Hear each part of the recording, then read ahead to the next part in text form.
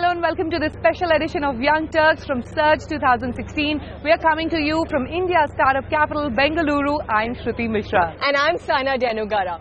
CNBC TV 18's Young Turks is proud to have partnered with Surge for its inaugural conference in India.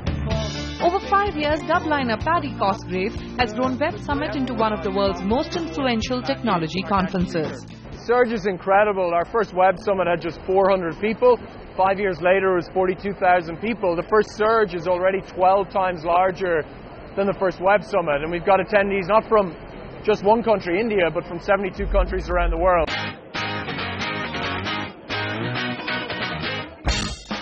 Over 23rd and 24th February, Bangalore played host to Web Summit's first India Startup Conference.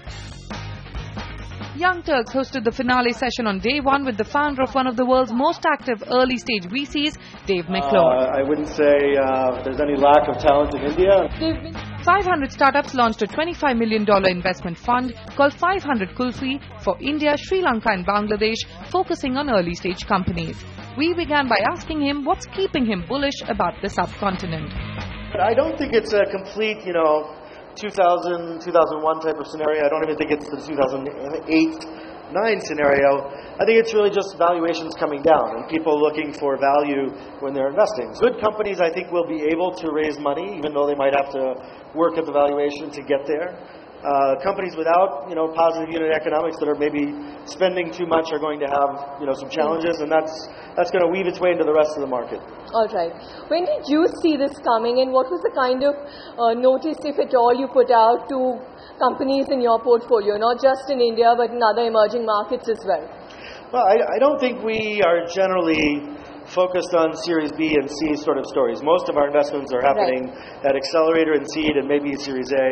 Uh, for our companies, really, they're just trying to find how to grow. They're find, you know, trying to figure out product market fit, get their first million dollars in revenue.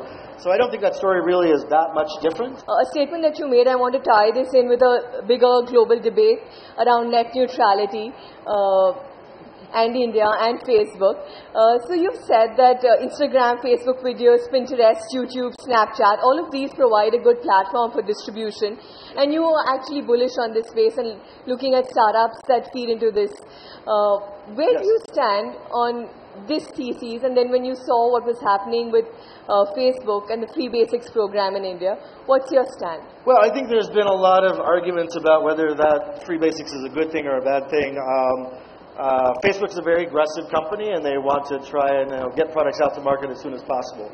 Um, but at the same time, I think there's a really developing ecosystem in India that deserves the opportunity to grow itself, and I, I think you know, maybe having just one option or one set of options isn't going to be the most beneficial choice, even if it takes maybe a little bit longer to figure out how to make that a uh, level playing field. I, I think there are going to be opportunities for Indian companies and Indian products and services to be in that mix.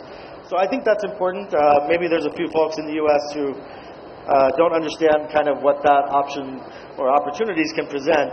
Um, but I do think that's really important. I think that you know you can't just have a country where everyone's consuming products that are coming from the U.S. Um, those products have to be global in nature, and they have to have an opportunity to be built everywhere around the world. Uh, otherwise, it's just it's not going to be a fair shake for everybody. For startups that are looking to feed into these sort of delivery platforms, you know, the, the Facebooks, the Snapchats, Primarily around, I think, but visual platforms, so pictures, videos, and eventually virtual reality and augmented reality. right. So I think those are great opportunities to sell other products, uh, to have customers experience what's going on, and I think we're just at the tip of the iceberg in, in terms of how visual platforms are going to be able to present products and services to customers. Uh, in particular, I think looking at products like Instagram and Snapchat and other video-based platforms, you know, just going to explode over the next few years. I, I don't think you'll you'll see any type of e-commerce or other type of business that's conducted without having visual platforms be pushing those products in the near future. What you're seeing in India compared to other emerging markets that you're now uh, actively playing in, uh, what are some of the similarities uh, and differences? Right now, Southeast Asia is probably the largest opportunity that we've been seeing outside the U.S., where we see a fully developed ecosystem, and there's lots of investors playing in that uh, in that world. There's local investors, there's investors from Japan and China and Korea as well. Uh, there's European and U.S. investors. I think India is probably the second biggest opportunity after that. That's also starting to fill in now.